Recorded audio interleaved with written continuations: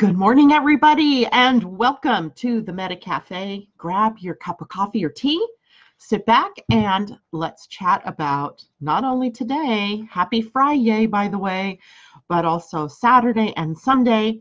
And of course, this is the weekend of the new moon, so we have a lot to talk about today. In fact, look at this, look at this. So, I've written out the script for the entire day on the front and on the back. That's how much we have to talk about. So, as much as I think sometimes I will have time to get to readings, I hope I will. Let's keep our fingers crossed.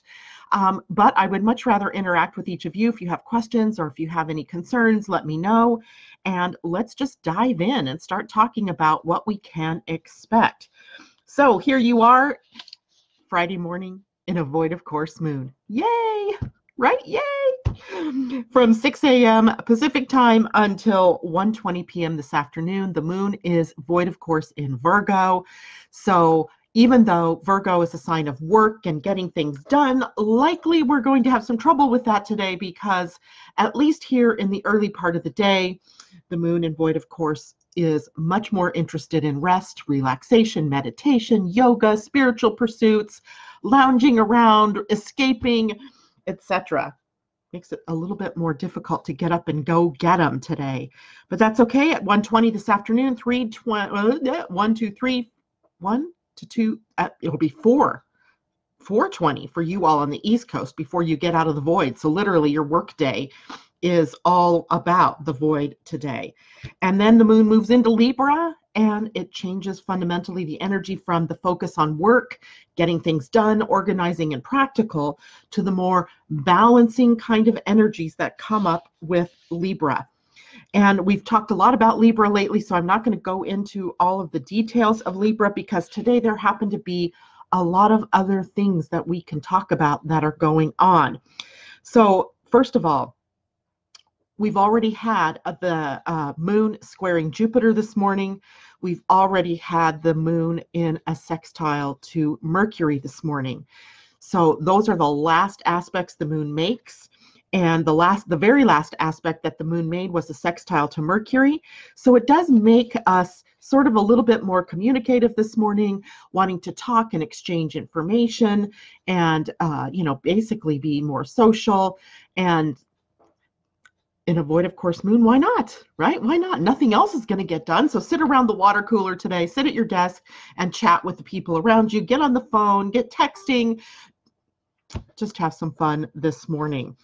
The uh, background that is happening today is with venus in a sextile to pluto. Venus represents your relationships right? Your your love interests your values the things that you think are important the things that you really uh, double down on in your life, right? If you believe, you know, if one of your values is about family time, then you're definitely finding yourself spending time with family. So whatever you value is also under sort of the the scope today. Uh, as well, Venus rules finances.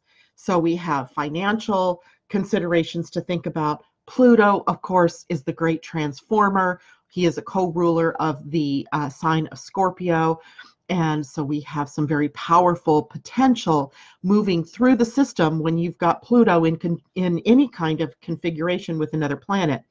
And so we have intensity today, then, with our feelings, our emotions. We might feel deeply about causes, about people around us, about our finances, about projects, or about the things that are important to us. Sorry, I forgot to put my phone on silent. And uh, then we also can use the power of Pluto to strategize and plan for managing our wealth or managing our relationships or actually managing how it is that we uh, express our values out there in the world. So glad that I turned that off. Uh, okay. So let's say a quick good morning to everybody. I see people jumping in. Good morning, Rebecca and Amy and Elisa and Sarah Raven's Eye, good morning. Uh, a happy belated birthday to you. I believe Thursday you said was your birthday. So we all wish you a happy birthday and a joyful year ahead. Good morning, Debbie Tibbetts, Tumiel, and Jody. Good morning. And Mimi says, Good morning from the gallery. I hope you're having a fun time there. And what a great day, too, with the moon getting ready to transition into Libra you know aesthetically pleasing things like art and and sculptures and all the textiles and colors and all that is favored with the moon moving into libra. Uh, christine erickson says good afternoon. That's right she's over there in europe. And tom wright wow what gets you out of bed this early? Good day to you as well mary tapping uh, mascal good morning and uh, Sarah says, Friday, today. Oh, today's your birthday, Sarah.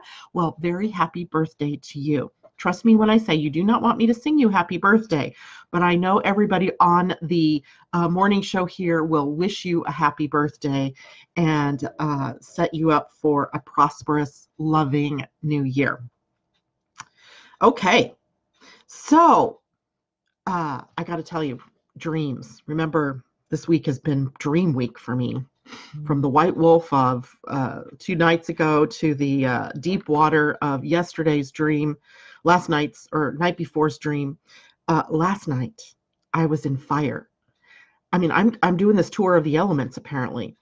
Uh, i i was in a church or some kind of institution building and it seemed important and it seemed like it, it seemed very much like a church. I didn't see the symbols of a church like a cross or uh, an altar or anything like that.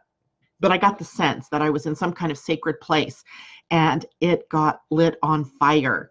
And it, it was one of those kind of fires that just blows up sort of like the wildfires in california where you know they just sort of blow up out of nowhere and we were running, running, running, trying to get people out of this building. And the interesting thing about the fire was that the, the only person that I recognized in my dream was my Sagittarius daughter, who is the mother of the daughter I dreamt about that I was protecting from the white wolf two nights ago. So I don't know what the deal is here, but last night it was the element of fire burning something sacred. And um, something old, right? It was very ancient, whatever this was. Like, you know, not churches that you would necessarily find in this country, except maybe on the East Coast, where, you know, there have been maybe buildings that have been up since the 1500s, but uh, maybe even European type um, buildings that are much older. And uh, anyway, so fire. Fire is that element. So we'll see what happens I don't know what the messages are all about, but I'm certainly finding going to sleep at night an interesting process and then waking up to I don't know what kind of dream I'm going to have the next day. So, okay, um, let's see. Debbie Tibbetts Tumiel. Hey, that all fits. Worked out something that works for Rita. Me, fur babies are visiting Mimi. Happy, happy. Yay, good. Um, and Sarah says, thank you. And everybody's starting to say happy birthday to you, uh, Sarah. And Colleen, good morning. And no, Tom, we are not all singing to Sarah, but if you would like to, go right ahead. And Mimi says, Woohoo, Deb, I'm excited to get to see you. I'm excited for the two of you too. And Stevens, good morning to you. All right, let's jump back into the day today. Something else very interesting going on, and that is Jupiter in a conjunction at 22 degrees of Sagittarius with Ceres, the mother goddess.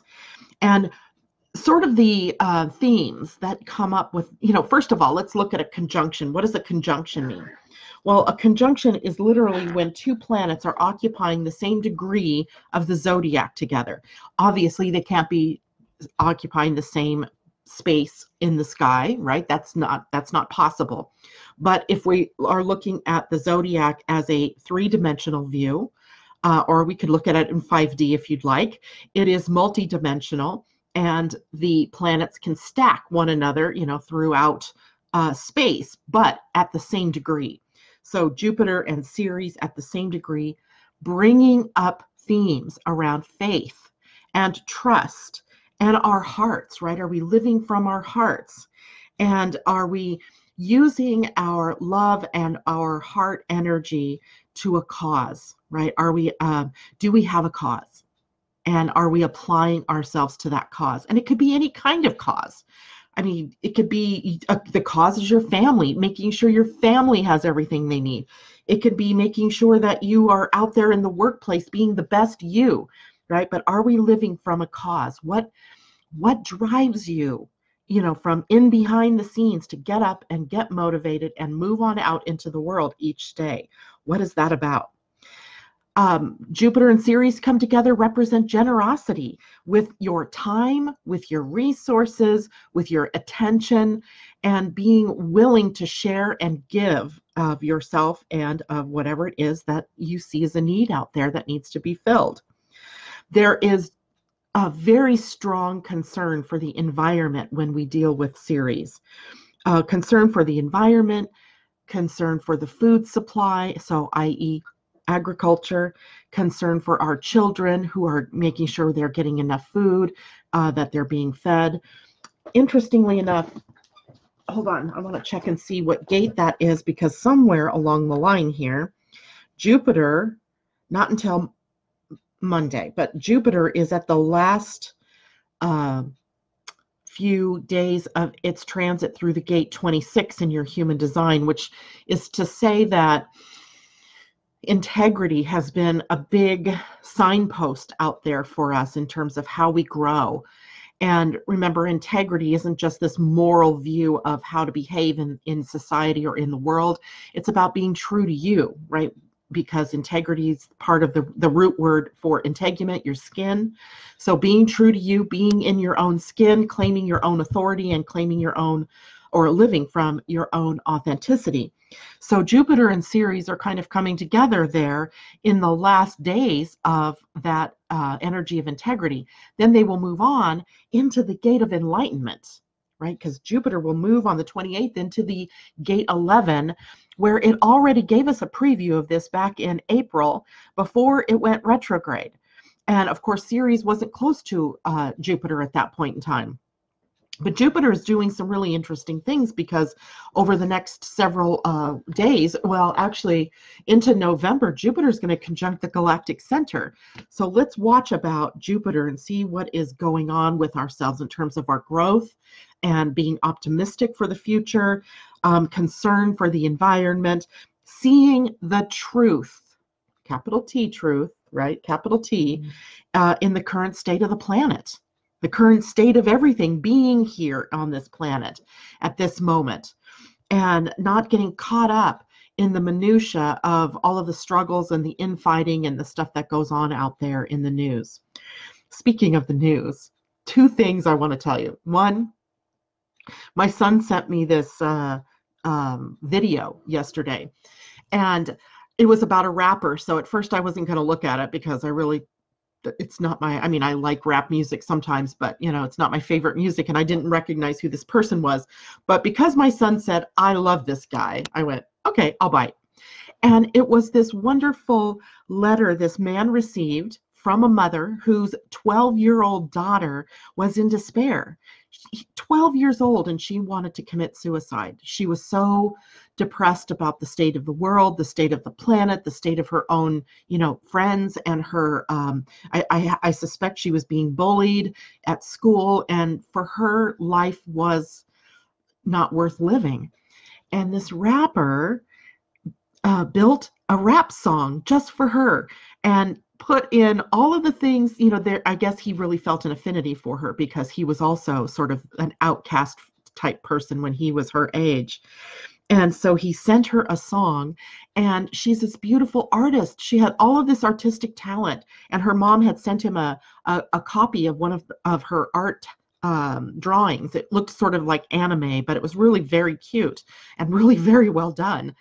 And so he goes out to the store and he buys her this entire like shopping basket filled with art supplies pencils and pens and paper and sketchbooks and stencils and I, I, mean you name it. He just filled this basket up and sent her her personalized uh, rap song along with this uh, basket full of of art supplies.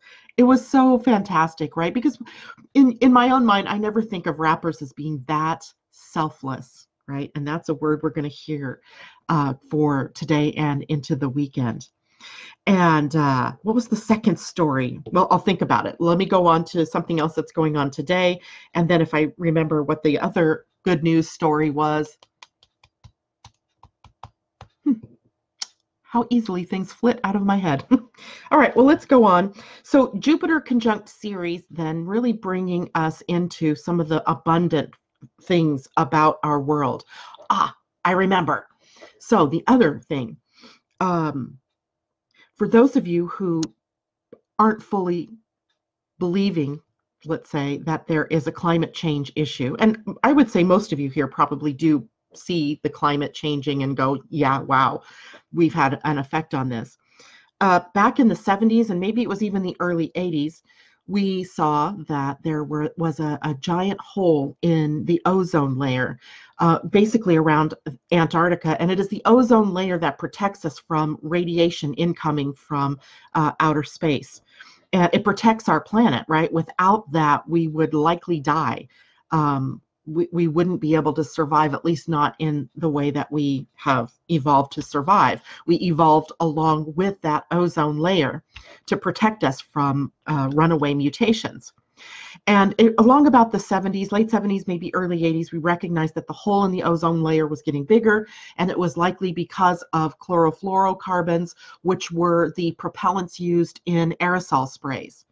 And we, as people, decided, we decided and we legislated that we would do away with chlorofluorocarbons and we would replace those propellants with other ingredients, other things that wouldn't be so devastating to that particular part of our environment.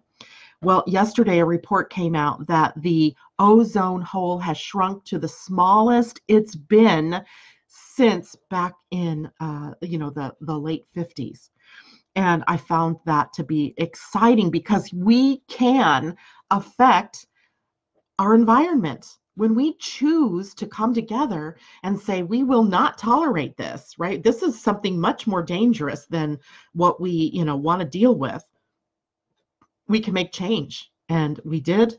We came together, we agreed, and we made a change. We have affected that now. Of course, that's been some 40 years ago, right? 30 to 40 years ago but we can do it and we did it. So why can't we do the same now? We know that carbon and carbon dioxide is feeding into the greenhouse effect on this planet. We know that methane is creating havoc and exacerbating the methane, the uh, greenhouse effect.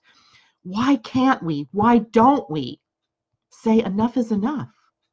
Right? When we do that, then Mother Goddess Ceres over here, she is going to be jumping for joy because all of that carbon and all of that greenhouse gas, it eventually mm-hmm. creates a problem in the food chain, right? It's already created disruptions in our climate. You know it, and I know it, right? We do have regular, you know, ups and downs in our climate. That's that natural sort of, of variation.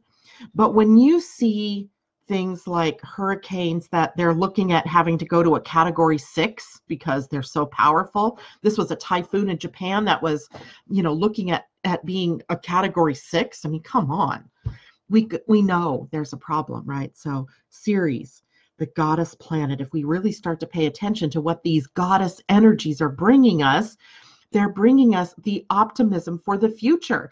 And that shrinking ozone hole is hugely optimistic. It's a huge reason to celebrate and be optimistic because we have an impact. And it was simple. All we did was replace chlorofluorocarbons with something else, right? We could replace oil and our dependence on oil and gas with something else, something else cleaner, right? Based on your bioregion right? Maybe your region has a lot of water and you can use hydropower. Maybe your region has a lot of wind and you can use wind power. Maybe you're sitting in geothermal energy. We can do this, right? And that's kind of what I see here with Jupiter conjuncting Ceres. This is a 12 year cycle. Jupiter won't conjunct Ceres again for 12 years unless somewhere in between times here they come together in I don't think there'll even be a retrograde where they come back together for 12 years. And that would give us this time to um, to broaden our horizons right? To to take those next steps and to see what it is that we could accomplish in terms of the carbon footprint on the planet if we come together and we demand that this take place right? Instead of arguing about whether it is or isn't happening because it is happening right it is happening and whether we're the sole cause of it or whether it's a natural variation or not doesn't matter we know we're contributing to it and the fact that we know we're contributing to it says we should do something about that right because we can because we have the technology available. So why not do it? Well, I can tell you there's only one reason, and it comes down to greed. It comes down to the oil companies and the billionaires that are making money off pulling oil and gas out of the earth and coal, even out of the earth, and using it. It seems so, it's so logical uh, I, that I just don't even believe that it keeps happening over and over again. So I see hope here, and I see that we can have faith in humanity's ability to see that there is a problem and to put our thinking caps on and to move forward in ways that are are uh, good for the environment and good for our children and good for the planet. Okay, off my soapbox for a minute now. Let's go on to another minor thing that is happening in the background today, and that is the sun in an inconjunct to Chiron. Inconjuncts, we talked about them yesterday. They're places where we need to adjust, our energy, where we have to let go of a sacred cow, perhaps, or where we have to sacrifice something in order to be able to move forward, right? We might have to sacrifice our dependence on oil in order to move forward, right, in a healthy environment. Well, the sun and Chiron trigger doubt in us doubt and uncertainty about our role about our who we are about how we express ourselves doubt and uncertainty are not meant to be aimed inward, right? It's meant to be aimed outward. And it's meant to be, you know, combined with your discernment in determining what's true and what isn't in terms of what's, you know, being said and, you know, what's the truth. Do your due diligence, in other words, is kind of what this energy says. It is also about where we are not standing in our own power and power is a big theme this weekend, right? Power with the new moon happening in Scorpio on Sunday. The moon, you know, is right now in Libra, but, you know, heading towards Scorpio. Planets other than the sun and the earth, or the sun and the moon, going to be in Scorpio, right? Mercury and Venus and we have a, this focus uh, on things, all things scorpionic, all things power and regeneration. So this is a personal regeneration. This is a personal calling back of your power and re empowering yourself. Not taking power away from others in order to do that, but being in your own power, standing in your own power. Something else interesting going on today Pluto, the planet of power and transformation and sex, death, rebirth, and the whole idea of regeneration is moving forward again and now it's back at the gate 61 in your human design. It is the middle gate of the very top center. This is one of the gates that is the reason why we don't choose to, why we should not, why we are not meant to make decisions from our head, because it's the gate of awe and wonderment and the mystery. And it is the perpetual questioning of why, why, and how, and it can get us in this loop, right? This loop thinking. And Pluto at the gate 61 is in Gene Key's shadow energy, psychosis. Not a good place to make decisions from. No, no, no, no. And literally, there are more people on the planet right now living psychotically, living in psychosis, than there are people living in the gift level of inspiration. This is why Neptune has been so important in the different configurations that he has been making because he brings us back our spiritual self, inspiration in spirit, right? Being the spirit within, being aligned with the spirit within. And, uh, or being, you know, aligning the physical and the spiritual. When that happens, we are inspirited or we are filled with inspiration as opposed to psychosis psychosis, right?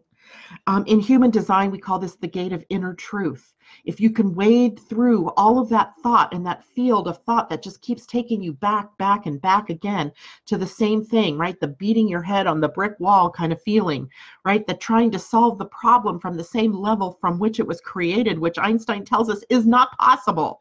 It isn't possible that you can solve a problem from that same level. You have to move up a level to be able to solve a problem. So we come to a space of inner truth with Pluto here at this gate, where we are engaged in the mystery and the awe and the magic that is this person that you are. That is this world that you live in. That is this potential when you are inspirited to create far beyond your wildest dreams. So while Pluto sitting here has this huge potential for how it can express, likely in the short term anyway, we are going to be seeing the effects of it at the psychotic level, where we, you know, look outside out outside of us and you know we could just be shaking our heads right? Things repeating themselves the you know it's getting tiresome isn't it? It's really getting tiresome to look out in that outer world and see oh my god you people are so mentally ill right that it's just crazy out there sometimes so if we can move ourselves out of that psychosis that field of psychotic behavior moving into becoming inspirited we have a chance right we can move on and I think that's interesting too because today's Pleiadian Earth energy is seven catalyzing energy, which is Kawayak in the Mayan calendar. It represented the thunderstorm, right? Or the storm. And the storm energy that clears the air, right? That that breaks the tension and clears out the old stagnant energy and creates an opening for the new right? Every one of us has been in a storm right? A, a physical let's talk about a physical storm a rainstorm or a thunderstorm. And the next day once the storm clears out the air is fresh and clean and everything looks renewed and beautiful We've all been there. We've all seen that. We've all experienced that, no doubt. So, this catalyzing energy today is about rising up to the challenge of clearing out the old and moving into the new. While the universal energy of the day, the seven, is about merging consciousness, it is about oneness and unity. It brings us together in common uh, pursuits, right? So, seven catalyzing. It is about clearing the environment of toxins, clearing your home of toxins, perhaps clearing your uh, your your your regular environment that you work through, that you work in um, of toxins, etc. So, an interesting set of uh, energies for the day today that I find are you know pretty coherent uh, in in terms of what they are bringing us to.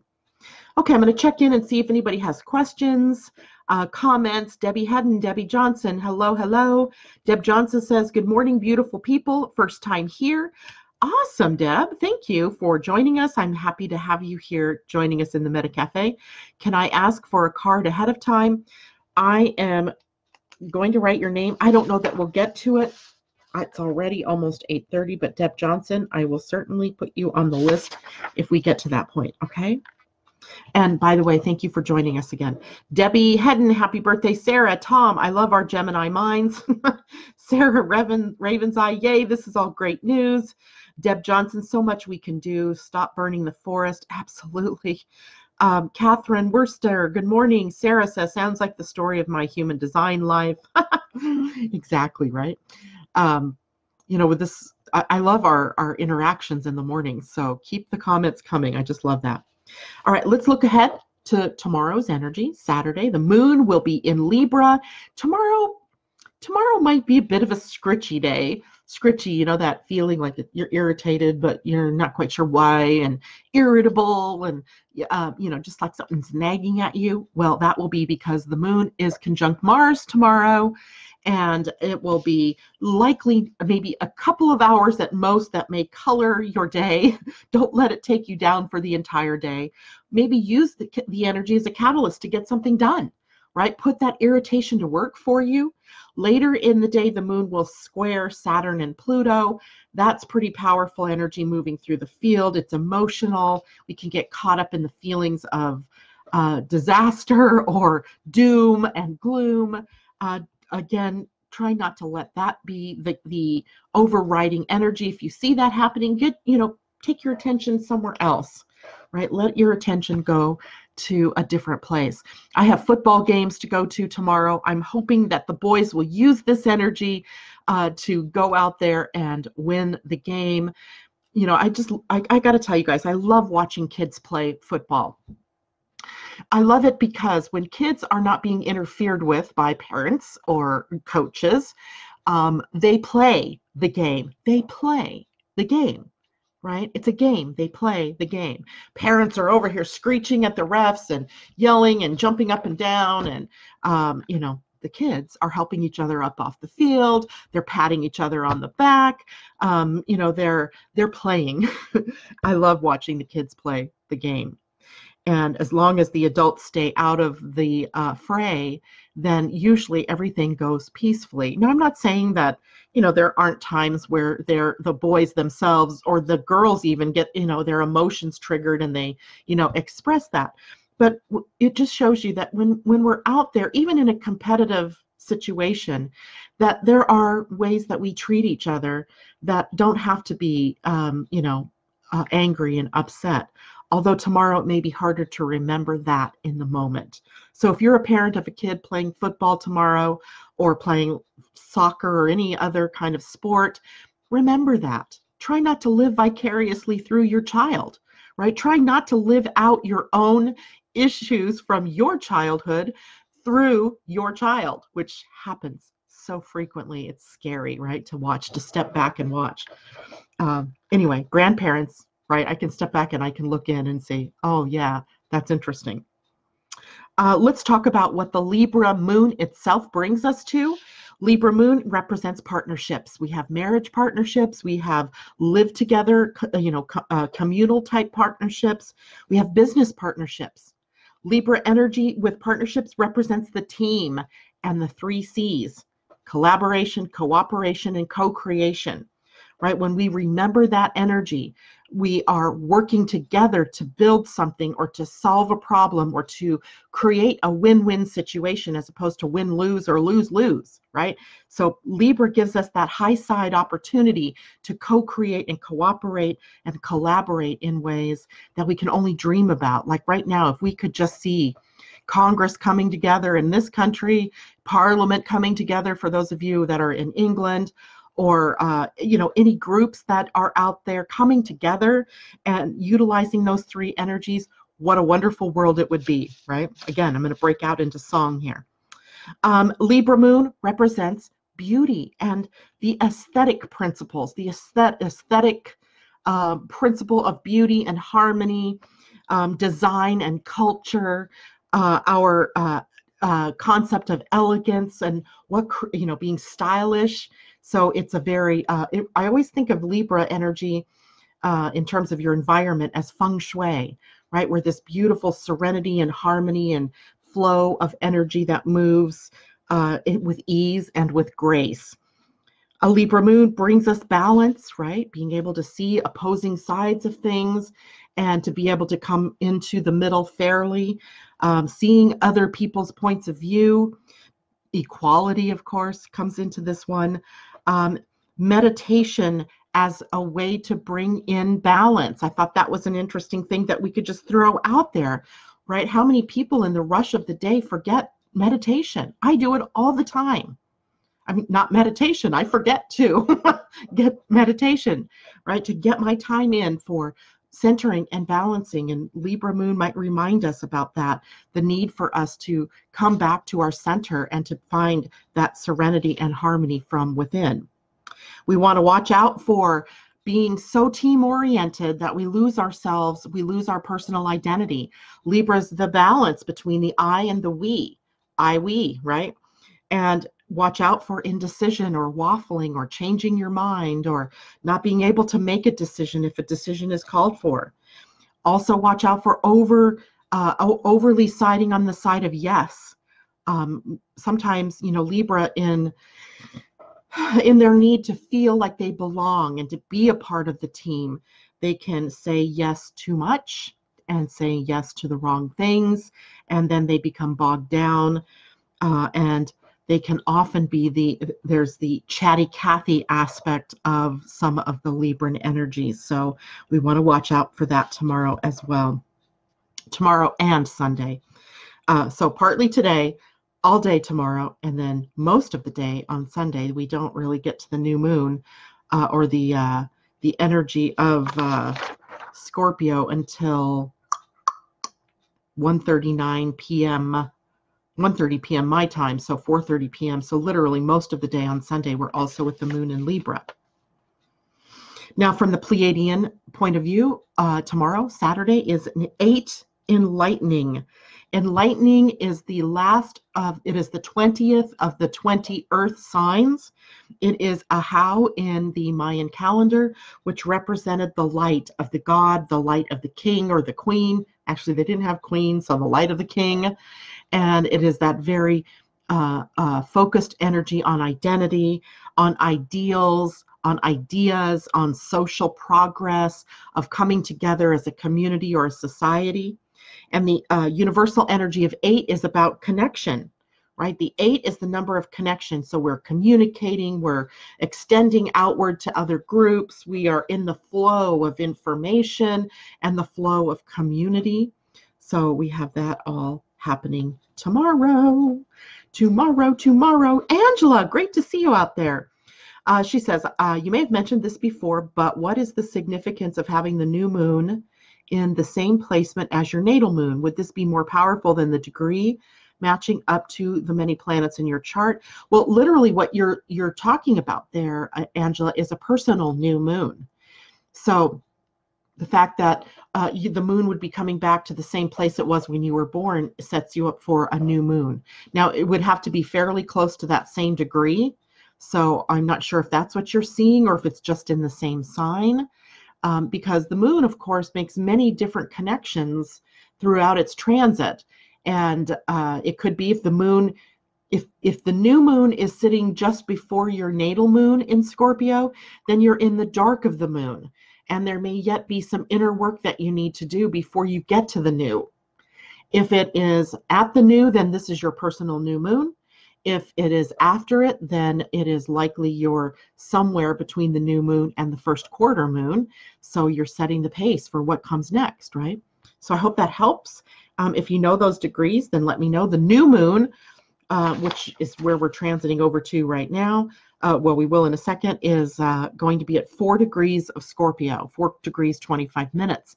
So if you know the degree of your own moon, that might help me as well. Uh, Tom, okay, team, go out there and be scritchy. yes, indeed. Angela says we have soccer games tomorrow. There you go.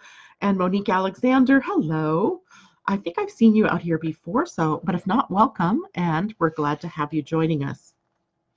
All right, one last word about Saturday's energy, and then we'll move into the new moon. And cool, I think we're we're doing pretty good time-wise. Uh, tomorrow we begin the new Human Design Week. That means the sun will be moving out of the gate 50, where the fear that we've been dealing with is, is that we will fail in our responsibilities to our family, our uh, communities, or our tribes, and moving into a new fear gate, the gate 28, whose shadow energy, the fear, is about purposelessness. Say that 10 times fast. So we have the lowest expression of purposelessness and the antidote to that, or the gift energy, is totality, being all in, right? Totality, letting it overcome you, take you in, letting life take you in, right? And the highest expression, the gift expression, is immortality when we are dealing with the sun at 28. In human design, it is called the gate of tenacity or perseverance, and it has a repressed energy of purposelessness. Like, why is this, you know, what is all of this about? Is there any life? Is there any meaning to life? Uh, why am I here? You know, the sad sack sort of of of energy, the you know drooping eyes and the you know oh woe is me. What am I? You know what is this all about? Uh, in the more re- uh, rebellious expression, this is thrill-seeking energy.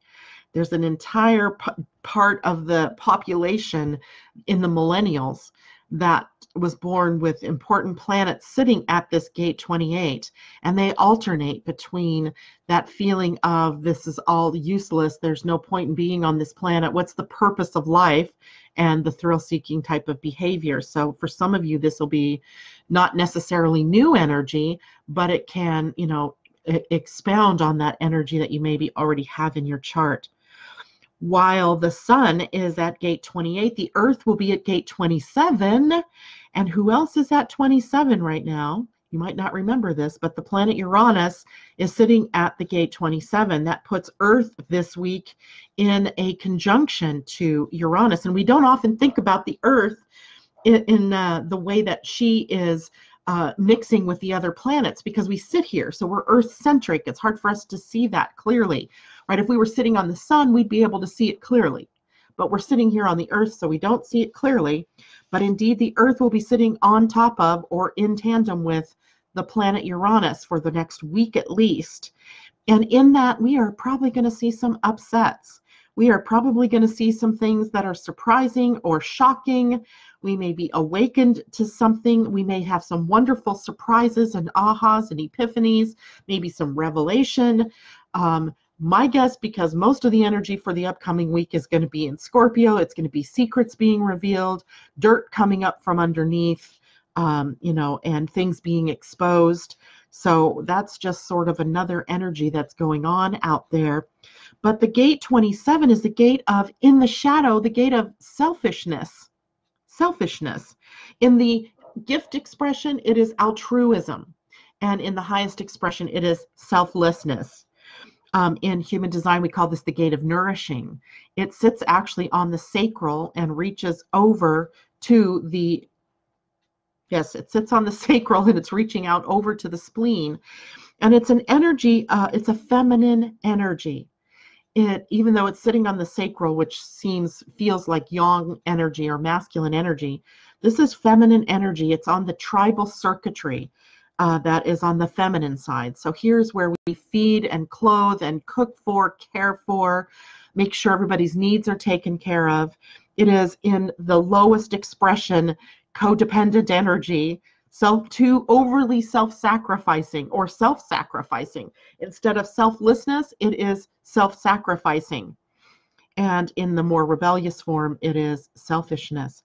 So we have to look at where are we nourished and being nourished uh, versus where are we withholding love, withholding care uh, from others in our world or seeing it most likely in the outer world. Uranus is a planet that's on the, you know, way out there, so it's more of a collective planet. We'll see it in the outer world, while the Earth, of course, is more personal. So we may be called out to become more selfless, more altruistic in the things that we do. So watch for those things to pop up in the news, um, you know, over the next uh, couple of days, probably for the next five days or so. Yeah. All right. Any questions about anything for tomorrow? Uh, she said, Debbie, I hate to miss Fridays, but one of my days to get my grandson. We'll watch later. You got it, girl. Have a great weekend, Debbie. Kathy Miller, good morning. Angela says, My moon is 27 Scorpio, and I have four planets at four degrees in my chart. W- was wondering what to focus on for, more for aspects. Last year, the Scorpio new moon was at 27. So you had your personal new moon last year, right? So you are in still in a new moon sort of phase. Um, so what is it that you started last year? What are you opening up to? And that's what you're working on. Right now, I'm going to go into what it mean, what some of the Scorpio things are to focus on with this new moon. And maybe that will help you out. Okay, Angela? Uh, Sarah says that Scorpio Libra gate is leaving us tomorrow. and Kathy, good morning. Excited to go to the Great Junk Hunt Craft event in Salem this evening. That sounds like fun. Going with your sister and my nieces. Have a great weekend. You too, Kathy, and uh, you know, take some pictures and show us what some things are that you, some treasures that you get while you're there. Uh, April, good morning to you. Okay, so let's transition over to Sunday and see if we can't answer some of Angela's questions about what to focus on for Scorpio energy in this new moon. Uh, first of all, the moon in Libra will be void of course Sunday from 1:23 a.m. Pacific time to 1:30 p.m. Pacific time. So what is that? The 4:23 a.m. to 4:30 p.m. for you all on the East Coast.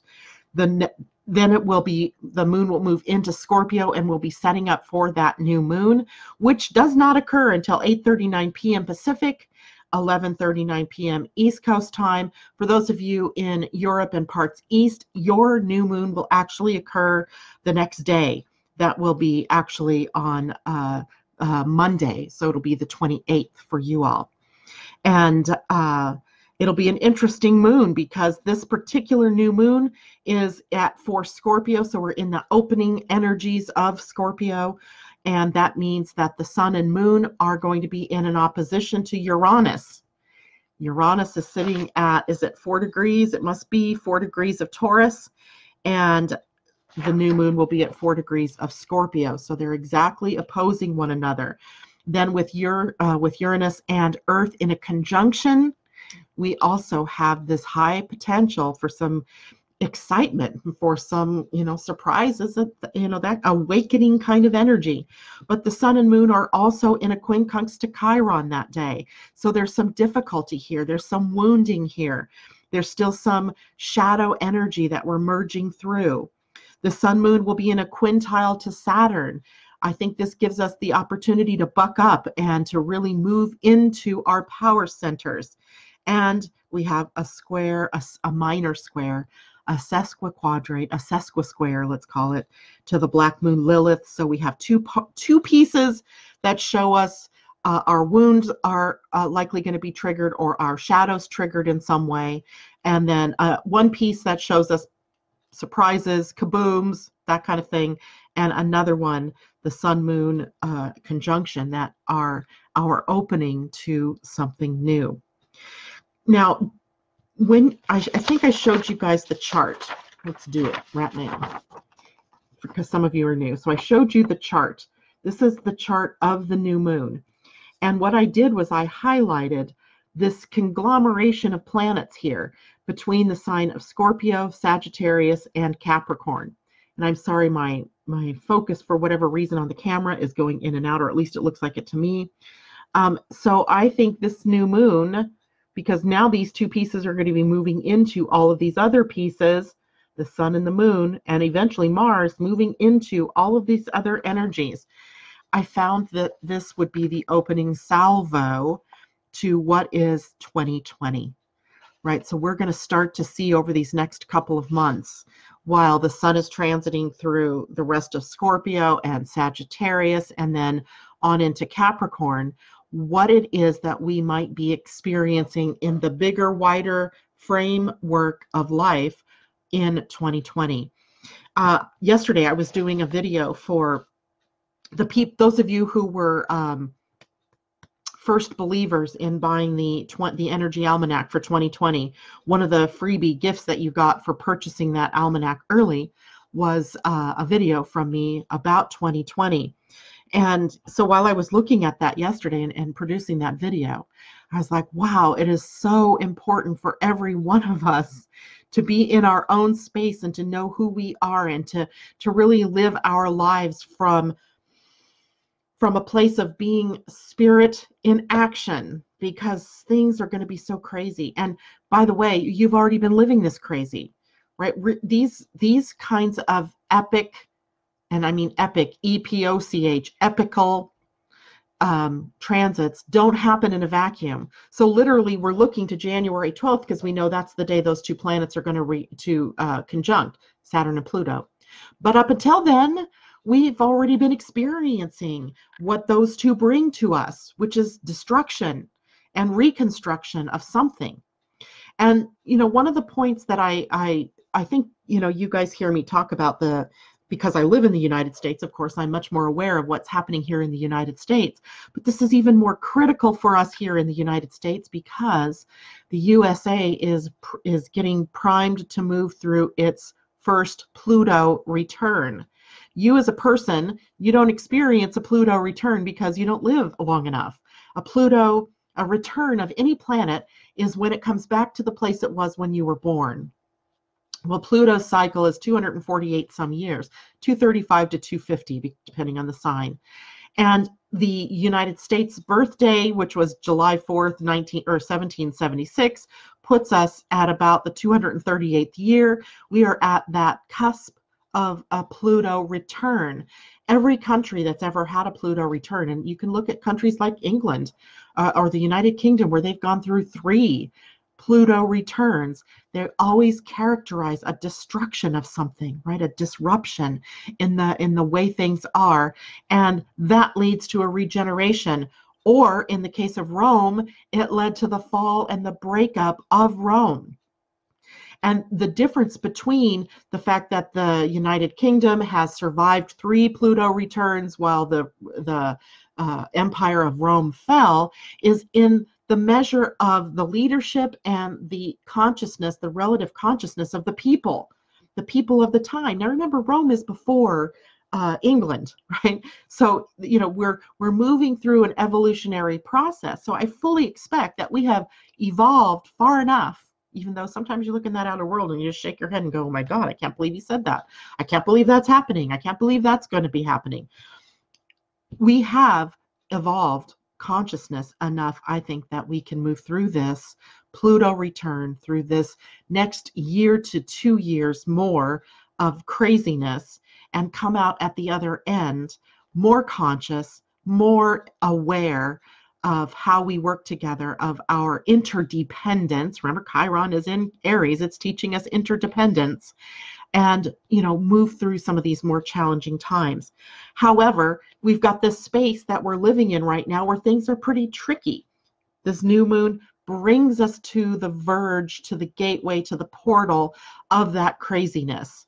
So it's like you know waves right? They come they build and we're building we're almost to that crescendo then they they hold their space for a while and then they break so we're not to the break we're at the we're at the beginning of the crescendo we're at the building of the uh, the crest of uh, this very powerful regenerative wave so this moon highly important right? Highly important just because of that. And every new moon after this will be that way. Every full moon after this will be this way, where it's just adding to the ability that we have to begin something new and to let go of the old, letting go of the old, letting go of the old, opening to the new, opening to the new on a bigger scale than than just the person or just the individual but your individuality counts because you affect all the people around you. So don't underestimate your importance in living out the high side of your life, right? That's the important backdrop to this new moon. Now, if we look deeper, if we go inward and we look at what is happening with what are the high side energies of Scorpio and what are the things that are going to trip us up with this kind of Scorpio new moon, first, the major is about power, right? Power and empowerment. And in that, sometimes we have to release all of the secrets. If, if people would just be transparent, right? If our governments were just transparent, if our groups, our corporations, and institutions were transparent, then we wouldn't have these secrets that boil up, right, and create havoc. But likely, that is a part of the experience that we will have as secrets and politics and psychology and exposing of secrets and motives and all kinds of stuff starts to bubble up. Um, but this is a great time, a great moon for personal empowerment and for establishing your personal ambitions. What do you want to do? What is your part that you want to play?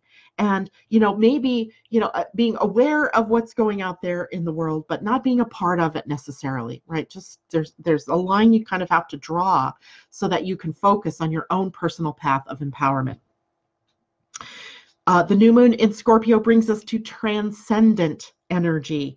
It is about transformation. Scorpio is ruled by both Mars and Pluto, and Pluto is the planet of empowerment and transformation. And what is about transformation? Well, what are you carrying as baggage?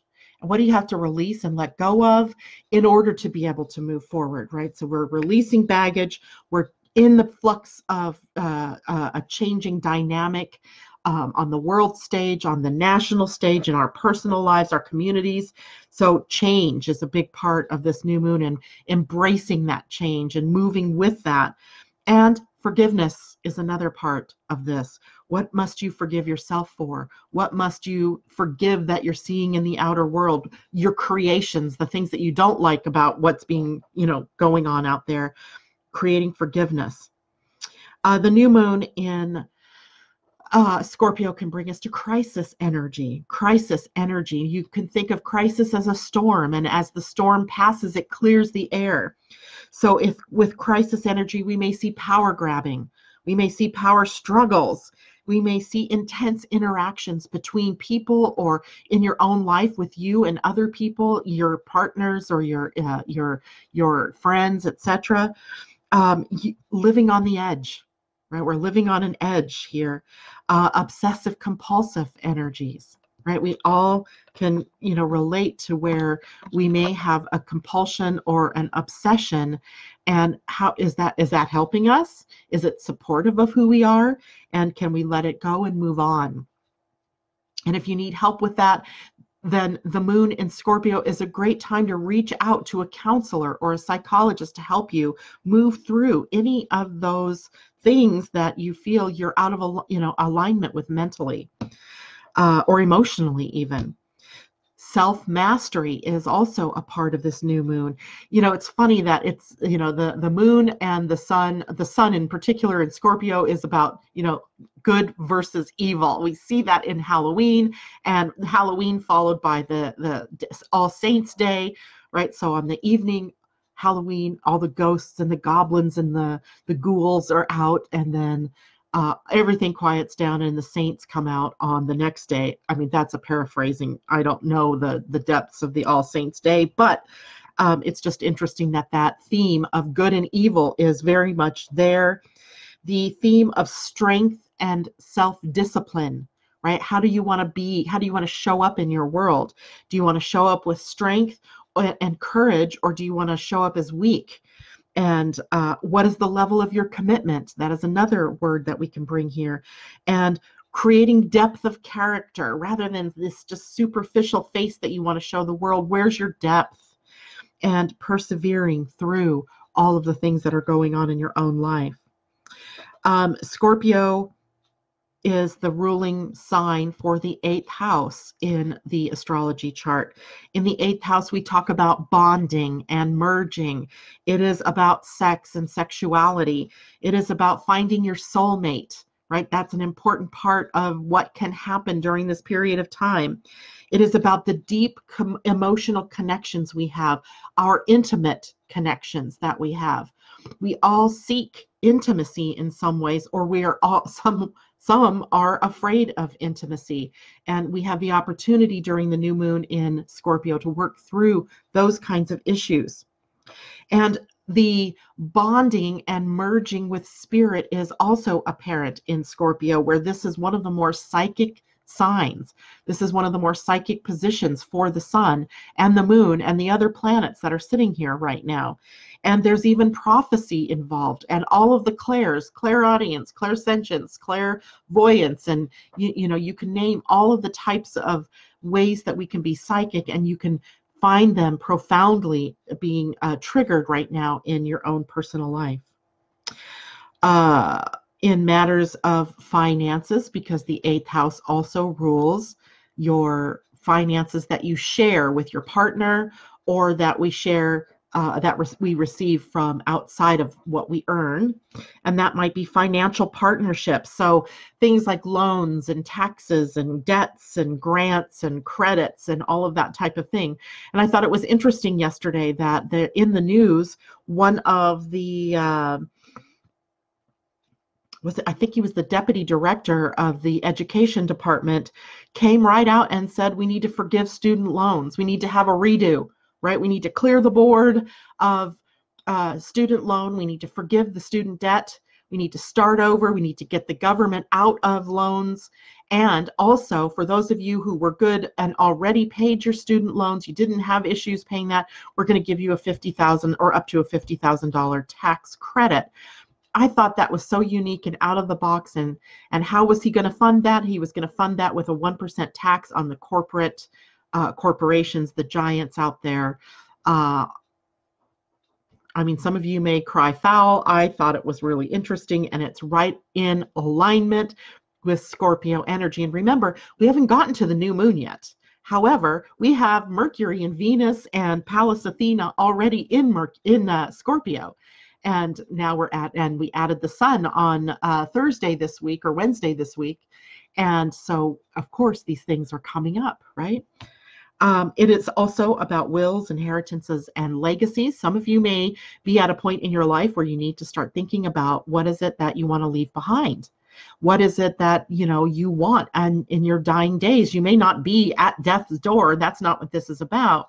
But it is about setting yourself up for that eventual end and being able to um, make it easier on those left behind to um, you know settle your estate or to enact your wishes your final wishes.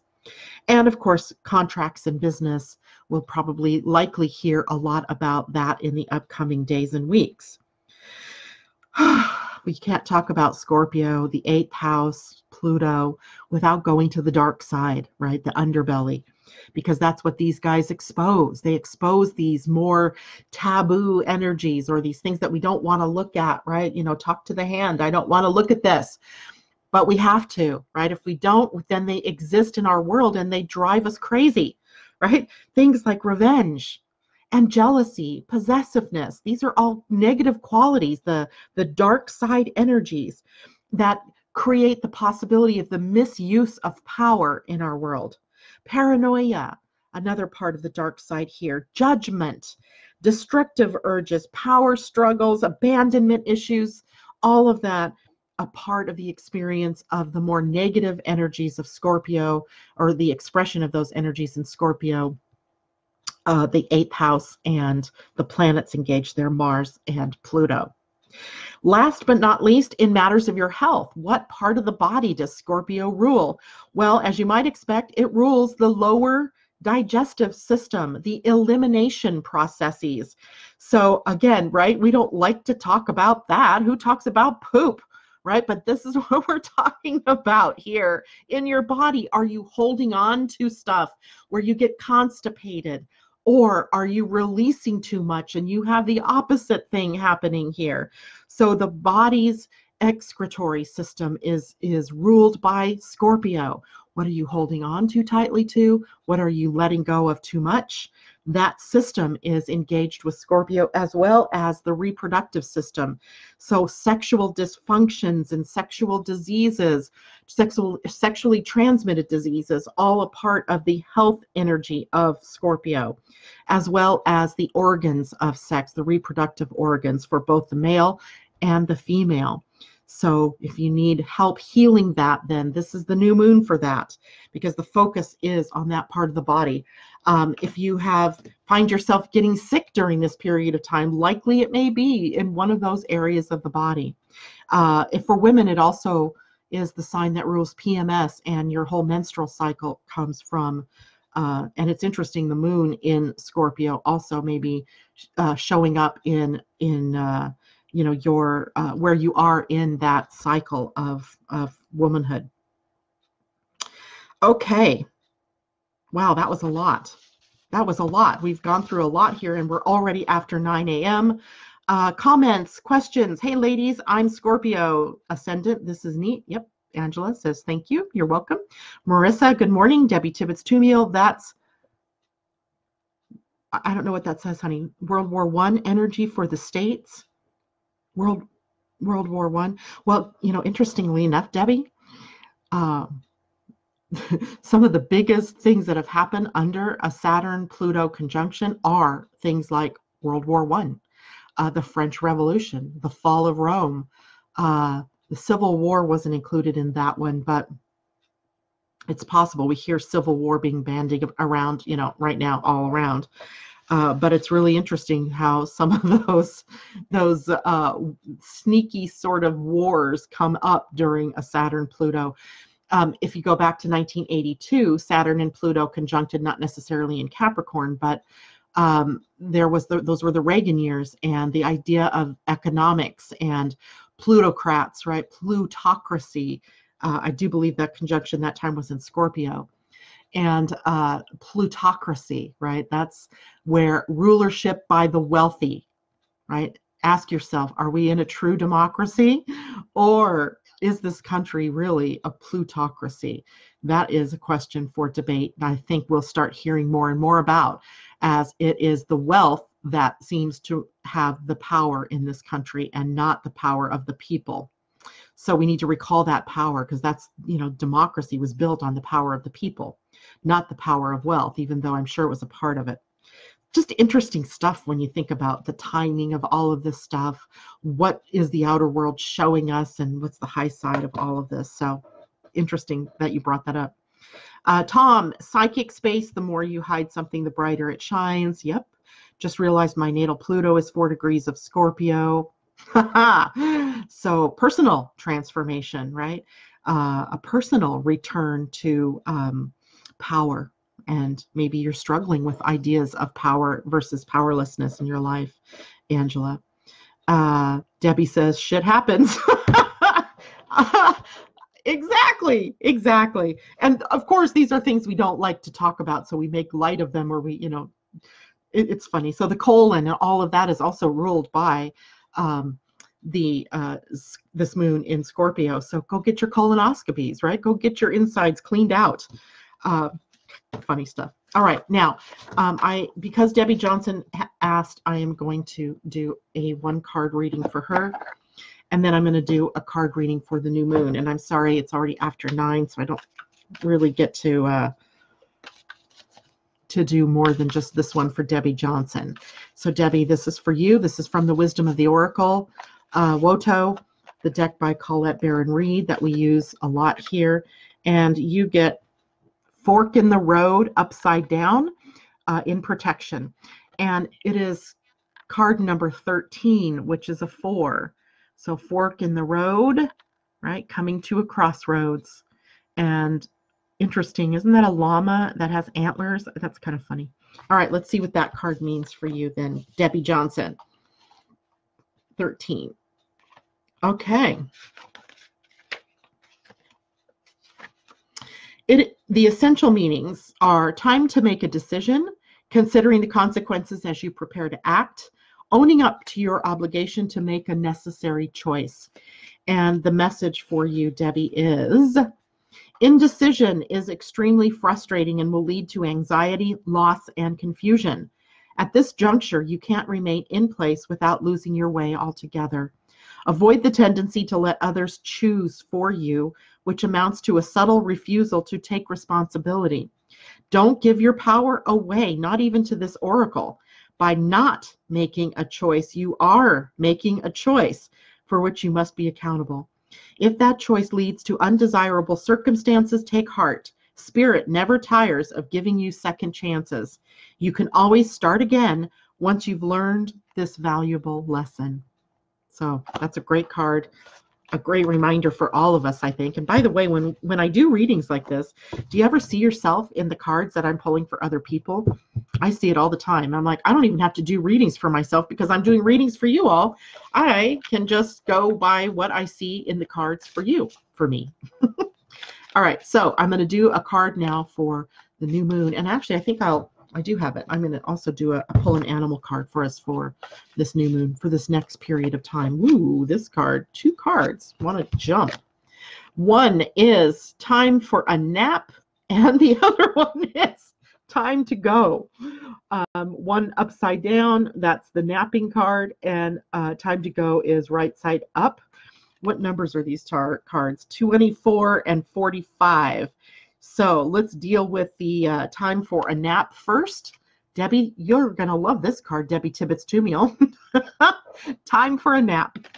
And let's see here 24, which is a six, by the way, which is uh, a number of balance, right? And peace and coming to a still point. 24, time for a nap is about rest, rejuvenation and renewal, temporary non action, allowing dreams to arise. Um, when I say things like destruction and regeneration, that's also, you know, there are synonyms rejuvenation and renewal. So this is very apropos, I believe. Uh, but that card was upside down. So in protection, it says, You are a human being, not a human doing. Is it possible you're suffering from workaholism? Could you be the one who thinks it's your job to save everyone, to be there for everyone, to go, go, go until you can barely see straight? You've gone as far as you can. You've worked hard and nourished people and projects, but now you are an empty well and have no reserves for others or for yourself. Don't let your ego keep you going full speed when your body and spirit need rest. Exhaustion is calling you to stop what you're doing altogether and take a break. If you don't, the appearance of this card could portend a possible illness that stems from being totally overwhelmed. You will feel like a new person if you take that break. Do it now if that is an interesting card, I think, to pull for this because we are in that balsamic phase of the moon, the dark of the moon right now. We are at the the moon is at its weakest point. It's most tired. It's most most lethargic. I can't even get those words out. And so, for all of us, maybe it's a great call to rest and relax and rejuvenate. Um, you know, recharge your batteries, so to speak. And the other card that popped out was 45, which is a nine and it said time to go. It was upright. That was this card, right? Where she's on a sidewalk going somewhere, a bridge. Um, and the sign or the card means endings, completion, walking away from something because there is nothing else to learn or experience. Mm. You are at the end of one journey and have not yet begun the next. This is the moment to bless your experience thus far Take stock of what you've learned. It's time to move on to new experiences and a new way of being. There is nothing left for you to do, be, or experience in your present circumstances. Take the risk and move on, even if you need to be in transition for a time. Your destiny is calling you. That's a great card, too. Let's pull an animal card. That's actually going to be our guide, helping us along the way for this new moon window. And this is also a Colette Baron Reed. Oh, wow. Two cards popped out here. Rabbit and Spider. And they were upright, both of them. Rabbit over here says, now is a lucky time. And she is card 49, I think. Yep, which is a 13, which is a 4. And Spider Spirit says, make your dreams real. She is an 11, right? 56 plus or 56 is an 11. so let's see what we got here. We'll deal with rabbit first. We've had rabbit before.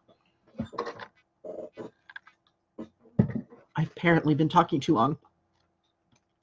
Uh, 49 says, a sunny meadow calls, and rabbit spirit appears to lead you out of your dark warren and into the light so that you can participate in a fertile and beautiful experience.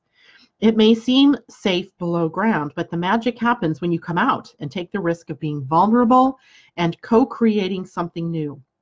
You are being invited into a new life that you have no experience with, but have no fear.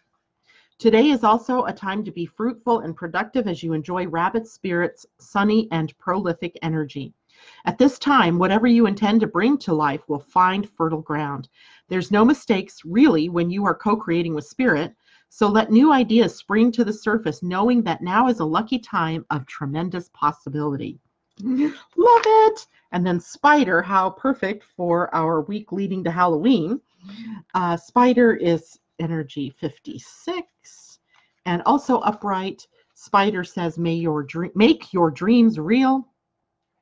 Weaving your dreams into the fabric of life begins with a single thread of intention and then Spirit joins you as your co weaving partner. Take but a single step to make your dream a reality, and Spirit will take 10 toward you. For the universe is designed to support your dream weaving. Spider Spirit arrives when you need reminding of the awesome power of co creation with Spirit. Ideas and resources will begin to appear as if by magic as you begin to bring your dreams from the realm of intention into the world of senses where they take form. The action you need to take is to be clear about your intentions and then act as if you have become the one that lives the life you desire. This is awesome. We've been talking about this all week.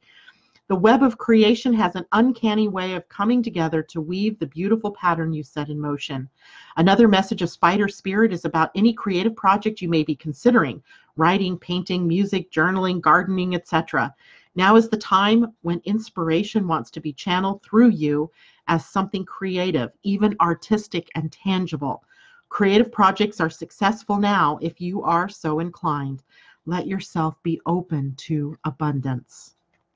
Love it. So, even though we have some dark stuff to move through, we have some really beautiful light at the end of that tunnel. Uh, I love it. All right, guys. Well, thank you very much for joining me today. Happy Friday to everybody. Have a great weekend. Uh, I will see you on Monday uh, as we start the new week, the last week of October. I can't even believe that. That true? Yes, the last week of October. Unbelievable. So, everybody take care. Uh, I see other comments here. Um, no questions. Good, good, good. So I'm not missing anything there. Thank you all. Take care. See you Monday. Bye bye.